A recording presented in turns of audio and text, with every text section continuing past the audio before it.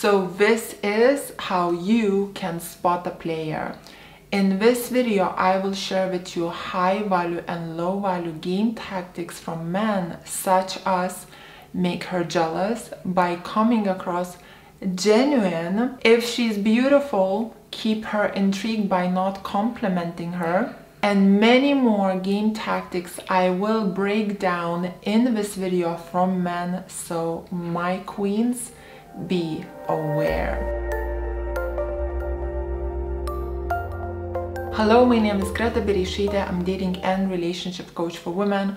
For the awesome high value woman secrets, subscribe to my channel and hit the bell to be notified when I upload new videos every Wednesday and Sunday. And just before I will share with you those 20 game strategies from men so you don't get played and manipulated, don't forget to take my free self-awareness test to find out are you a woman of high value or low value which I will drop down in the video description box below. And if you love my merch, chase goals and not the drama, you can always get it in my YouTube store. So in this video, my ladies, I will break down for you 20 game strategies played by men that are very, very popular. I have come across I think all of them to be honest. I experienced them all myself, if not all, at least 95% of them. And not just once, but multiple times. Majority of these strategies are from the book by Neil Strauss. And the book is called The Mystery Method, How to Get Beautiful Women into Bed by Mystery. So ladies, I really recommend you to read this book as I said when I reflect back on guys that I've been on dates with, I would say 70% used these strategies straight from the book. Other about 30% I would say used some of these strategies from the book. And without further ado, let's start with the game number one. And I must say, I really, really do not get this one, but now when I reflect back on some dates that I've been on, I can see which guys have been using this method. And the method is to create for yourself a drama-filled chaotic life. Do everything what is sexually possible, do everything what you can get away with. Uh, basically live as immorally wrong as you can get away with. It's actually recommending for men to be very, very toxic, low value men but it's rephrasing it in a way that if you will live a life full of drama and full of chaos, you will be a high value man as your social status will be high. This type of strategy does work with women that are very I would say money focused, like shiny things that are very naive, that are focusing more how the person looks on the outside rather than the inside. Some of these girls do see these type of guys as a catch for me personally, this was the number one thing that would turn me off in these guys. Because what they would do they would talk so much about their life, about the drama in their life, about this girl or that girl, and that would just put me off and so much because I would just look at them as totally toxic men who don't have self-control, who are irresponsible, who are immature, who have toxic priorities in life. And the most important,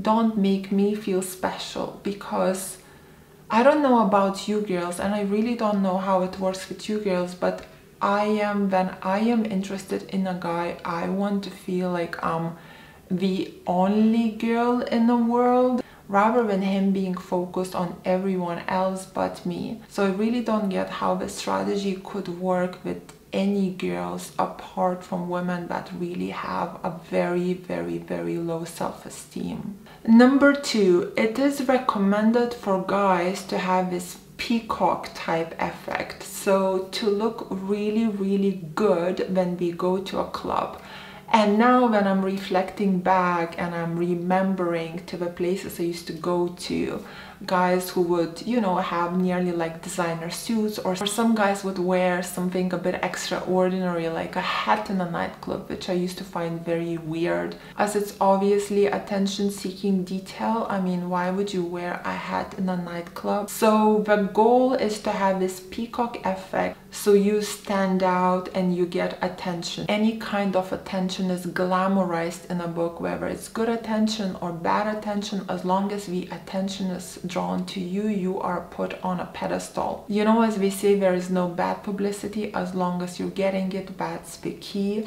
I definitely disagree with this type of statement because when you have a lot of drama in your life and you have a lot of chaos in your life and you sleep with tones of women, long term you will be getting a lot of bad publicity. Long term, eventually you will start to feel depressed because you will start to feel guilty by bringing so much toxicity in other people's lives, by ruining their lives, by using people for your own satisfaction.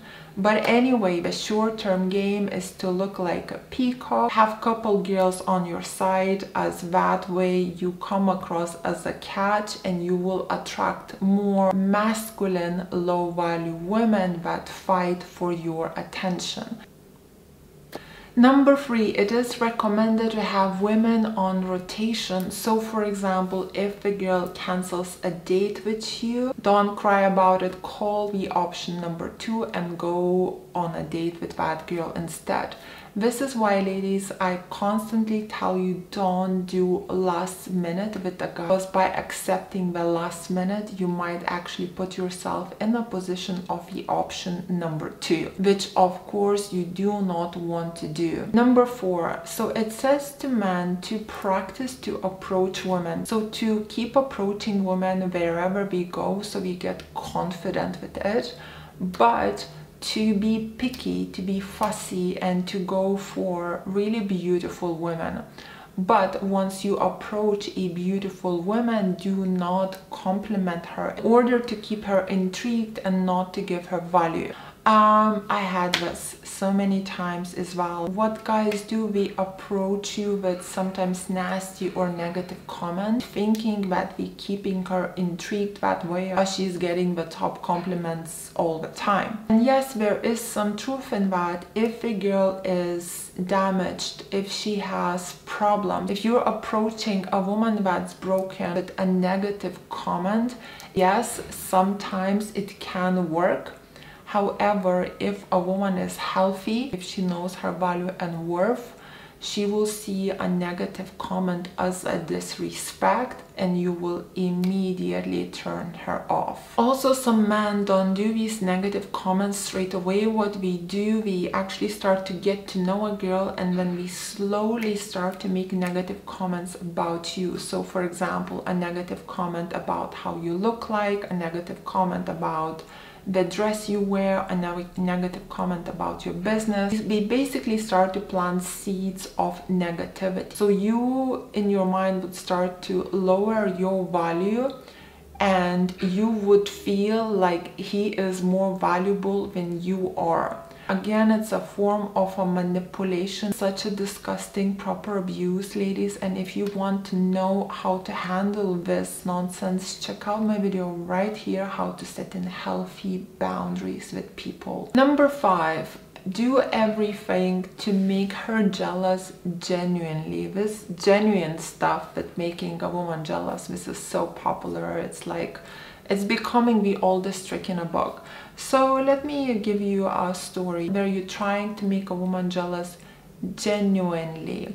So a lot of guys do it by referring to their female friends. A genuine jealousy example could be something like you're in a car with a guy and he tells you how he dropped off his female friend to a hospital just an hour before picking you up and he calls her three or four times in front of you to check in on her and on a phone call of course he's very nice to her he's asking her do you want some snacks Do you want some water? When shall I pick you up? How do you feel? This way he's kind of trying to make you jealous genuinely and is trying to show off what a nice guy he is. The only thing that you can do to this is just you don't react.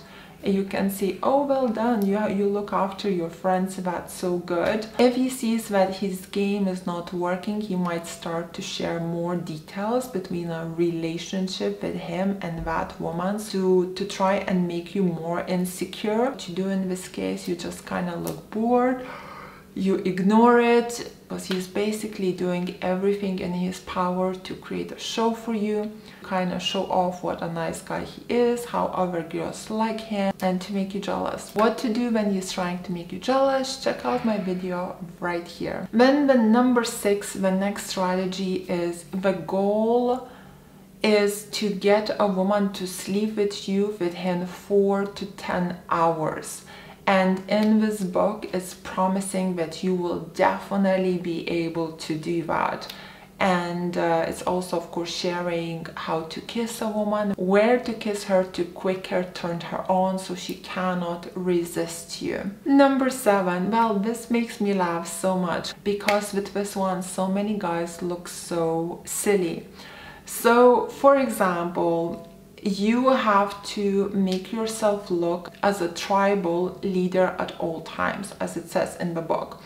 So a tribal leader as in like you need to come across as a leader in any kind of place or setting. If you take this advice a bit out of hand, which a lot of men do, when we with you, we try and be the boss in every step that we take. So for example, if you are going dancing together, let's say you're going to dance bachata and he is a bad dancer, yet he wants to sound like that tribal leader, he might start coaching other people how to dance just to be that tribal leader and try and impress you. Remember one client told me that she was walking with her boyfriend and out of the blue he started to shout at this homeless person for no reason whatsoever.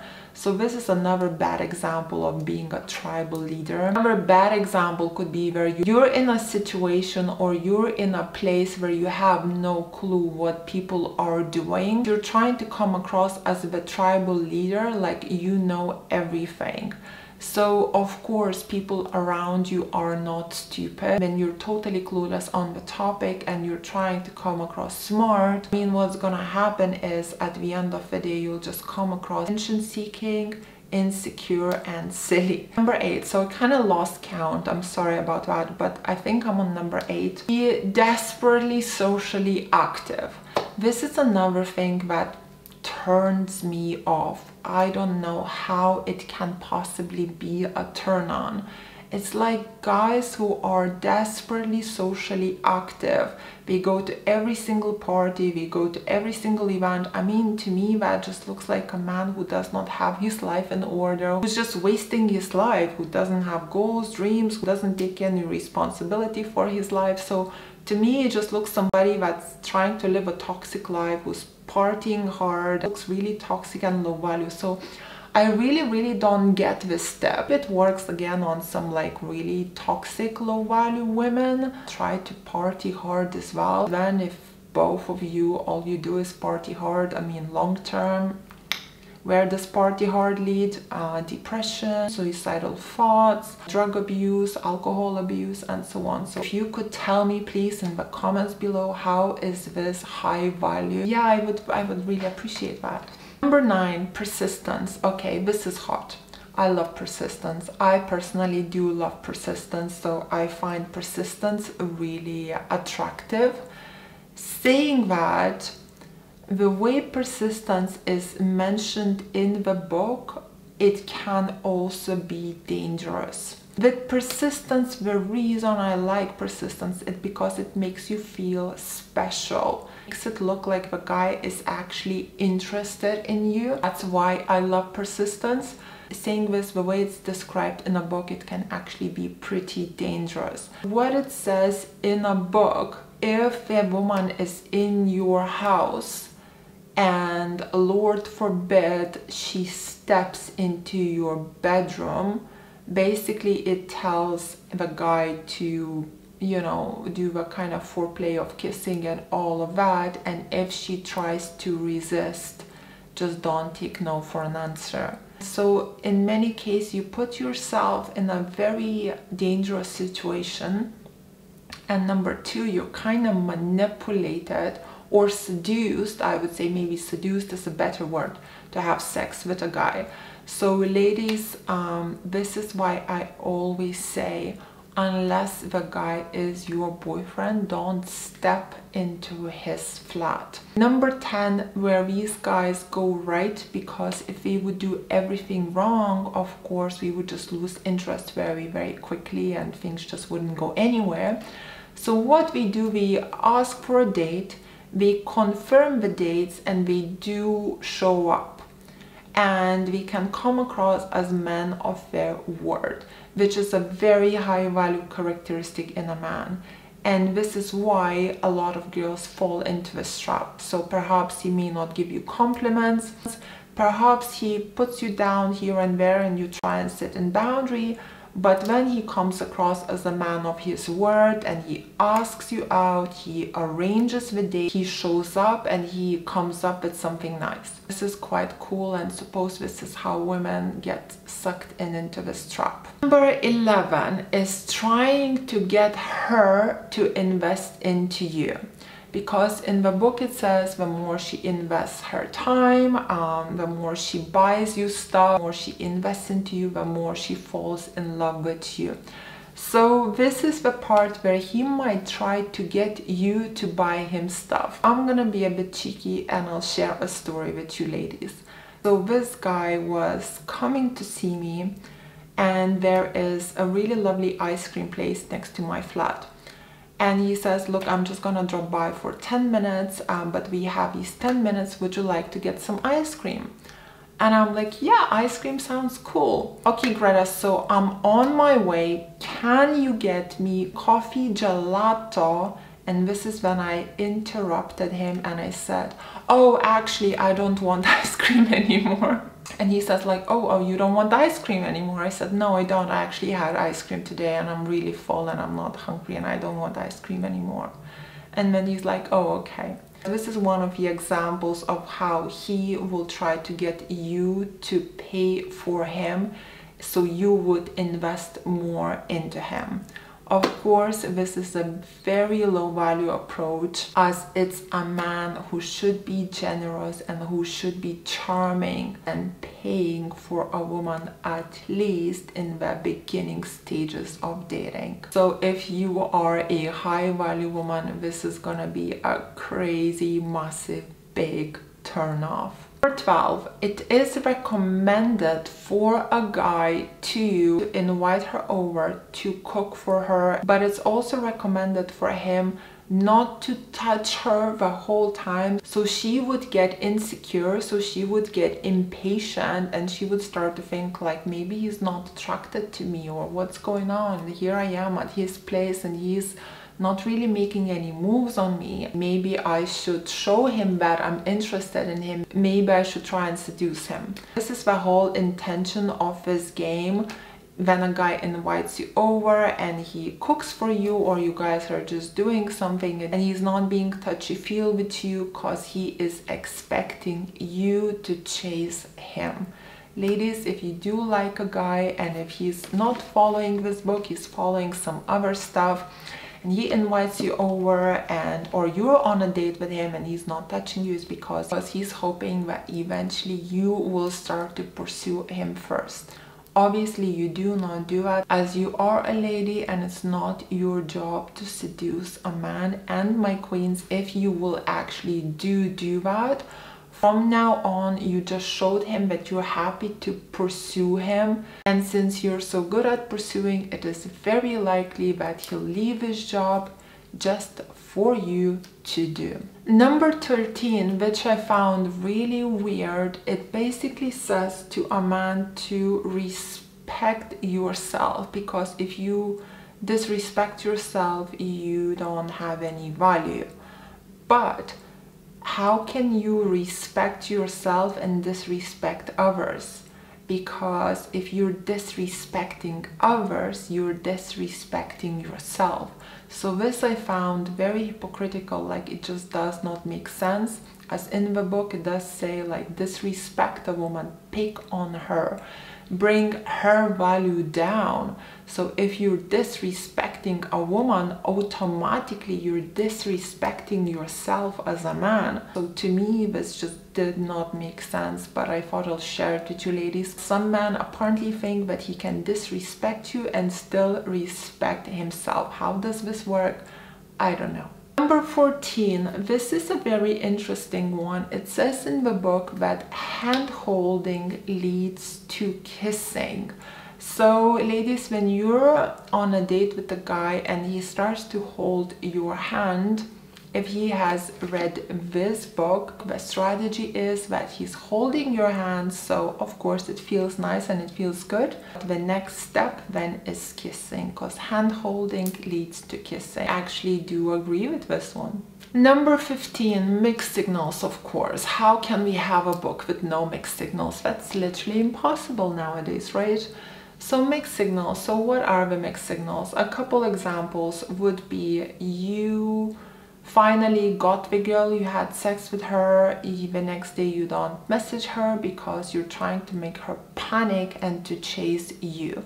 So mixed signals is like one day you're hot next day you're cold. So the idea is that when you are cold you're bringing her value down. She starts to feel insecure and if she's a bit of a toxic girl that's not aware of this game, very likely that she will start to pursue you because she's feeling insecure. If she's a healthy girl who's very aware of hot and cold, she's gonna get turned off by it and she will either set in boundary by ignoring you or she'll just break up with you. Another example, let's say you went on a date, you swept a girl off her feet, next day you bump into each other and you're ignoring her. Ignoring part is to make a girl to feel a little bit less valuable than you, to make her feel insecure so she would pursue you. A girl that's not aware of this stuff will probably get insecure and message and call you. A girl that's very much aware of this stuff will most likely be like Thank you. Next. Number 16, a little example of a game to make you insecure again. So here is one. It says when you are out or you're in a club, spray a little bit on yourself a fem feminine perfume.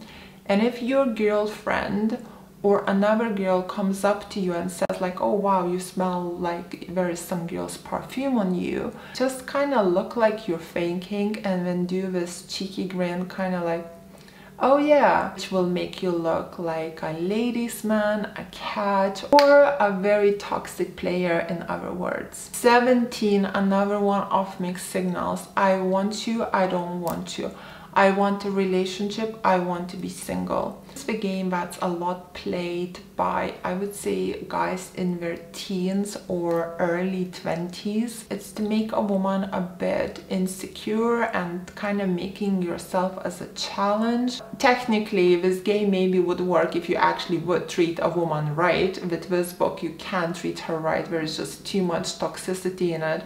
But if you would actually do everything right, and when you say you want her, you don't want her, you want her, you don't want her, the intention is that she would ask for the relationship with you first. And the ball is in your court and as a man you get all the power and when you can say yes or no or I'm not ready or whatever else you decide. Ladies, ignore this stuff, stay patient, let him pursue and let him suggest a relationship with you first. Number 18, this is hilarious.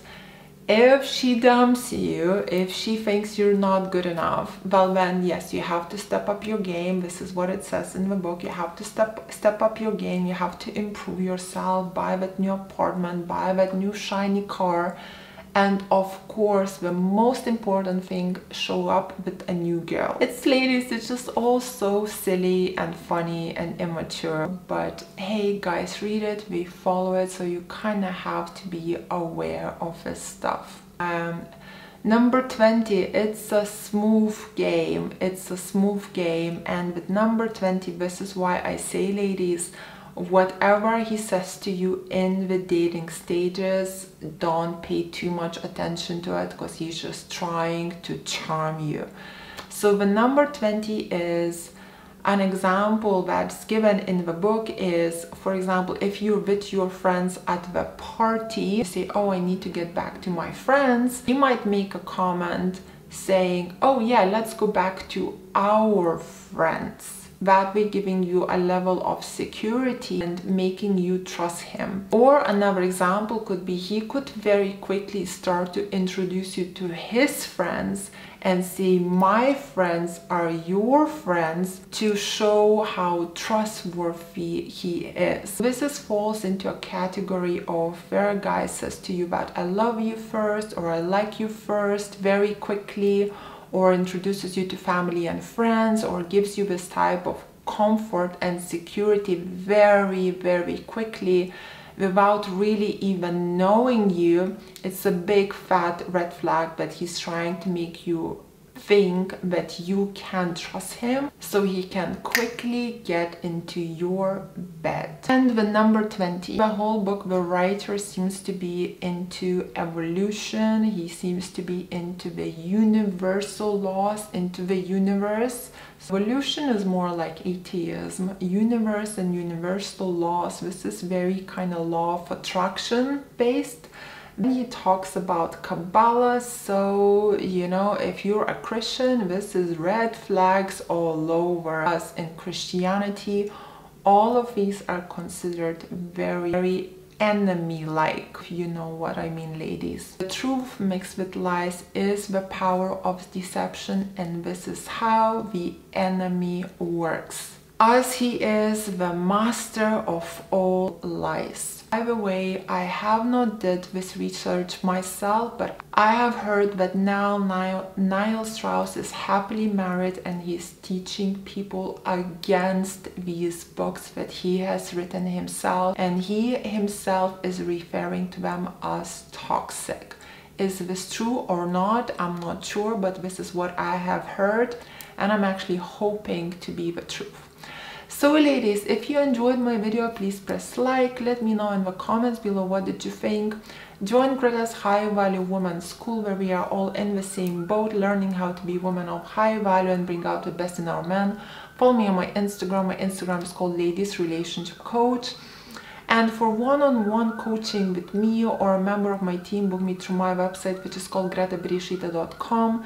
If you would like to know the games men play on women, how to stay attractive via text, how to love yourself, how to get your ex back, how to control your emotions, or perhaps you have a little hobby that you would like to make into an online business, I have all of these videos for sale on my website called gretabereisaite.com. Thank you for watching. Kisses from uh, Dorset.